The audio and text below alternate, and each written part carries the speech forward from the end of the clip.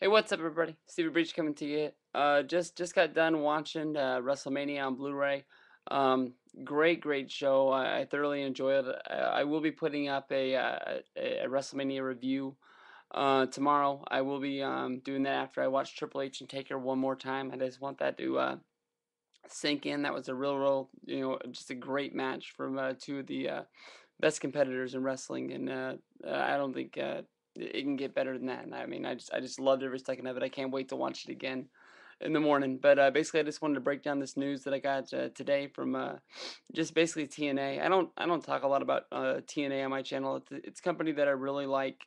I want to to succeed. I just don't think they're making the right decisions right now. It's it's so easy to bash them that I don't like to, but it seems like I jump on this TNA, you know, bashing uh, so much that it's just I don't know. I, I feel bad for him, but but I honestly, uh, you know, before the people think that I'm just jumping on, you know, and just throwing more weight onto the sinking ship of TNA, I, I really want this company to succeed. But honestly, when you're making uh, um, you know statements like Ric Flair went on the radio show today with Mark Madden, and he said that uh, he's going to be getting a title shot against against uh, Ric Flair. That now he didn't say if it was going to be at a house show, and he didn't say it was going to be at a pay per view, but I'm guessing that he's not going to be going on a, national radio show to announce that he's going to be doing a, a house show.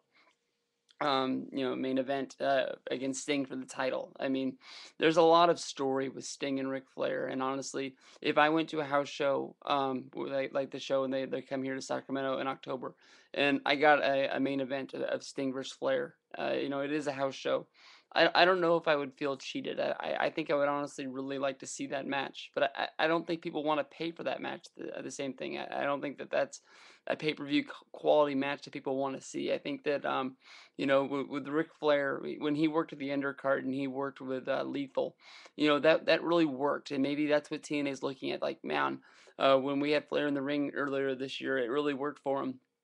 Uh, with Jay Lethal, but that was an undercard match that really nobody was looking forward to, like nobody nobody was expecting anything out of that. But I mean, if you put somebody like Ric Flair in the main event, you're thinking of Ric Flair from 20 years ago is going to show up, and you think that you know he's really going to go out and perform to the fullest. But I think if you do that, you're going to end up with a match that's more like uh, the end the last uh, match of Nitro, the Sting versus. Um, uh, Ric Flair match. The the match where Ric Flair, you know, was basically wrestling in a t-shirt because he, you know, just didn't feel that he was up to snuff uh, and to be out there. Uh, and, you know, Flair sort of fought this match. He, he didn't really want to do it, uh, but the, the, WWF people that were there, Shane McMahon, talked him into it, saying that this was the the life of, of uh, WCW. It's what people wanted to remember, and you know, this was the the best match that they can give people on the way out the door.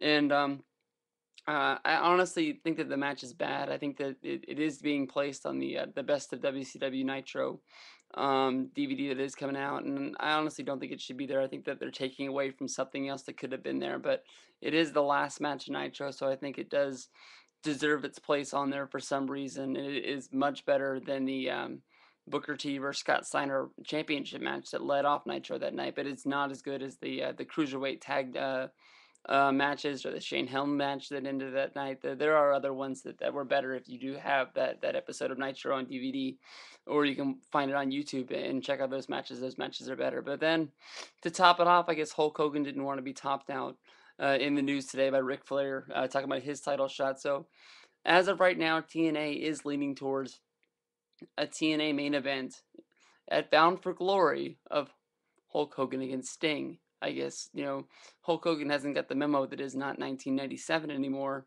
uh, for both of these guys. Uh, you know, Sting is a guy that right now is is is the uh, TNA champion. I don't think it is the best bet um, uh, for a person like like Sting to be the champion. I wish the belt was on somebody like AJ Styles.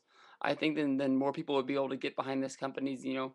It, it's uh, you know just the youth movement. I, I, mean, it's hard to call AJ Styles really you know a youth guy um, right now. But I mean, when you're you're talking about Hogan and Sting and Flair in the main event, like you got to clamor towards a guy like AJ. AJ's been the life and blood of uh, TNA since day one. Uh, but it seems like since uh, you know Hogan and Bischoff showed up, they slapped this guy back to the, uh, uh, the the lower part of the card, like that's where he belongs. And every single fan of TNA that's out there that wants you know this company to succeed is begging for AJ Styles. Why would Hulk Hogan go out? And and I know he wants to give himself one last match on the card, um, but I mean, like even even Vince figured out, you know, that like Hogan, you know, isn't uh, you know, that main event guy anymore. That that even you know, um, him going up in, in into a big time feud against uh, Shawn Michaels, which did deliver.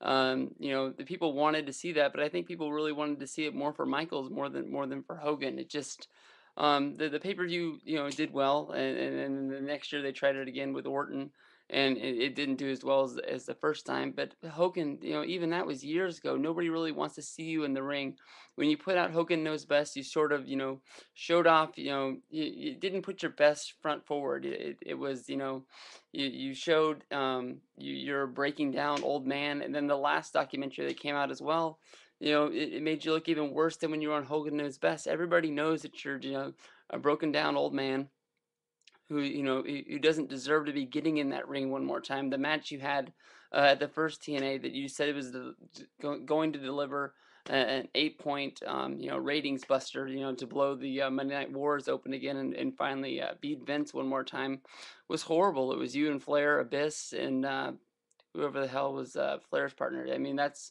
how forgetful that, that match was. Was the last time Hogan was in the ring. I honestly can't even remember who all was in that tag match. But you know, TNA, you got to start looking in other directions. You know, your, your younger guys are bailing out because they know that there's not going to be uh, a future for them. That was the same thing that was happening in WCW uh, before the end, like when when guys like uh, Benoit and Malenko and Perry Saturn were jumping ship, Eddie Guerrero, um, because they, they knew that they've been in that company, they've been busting their butt on the bottom of the cards.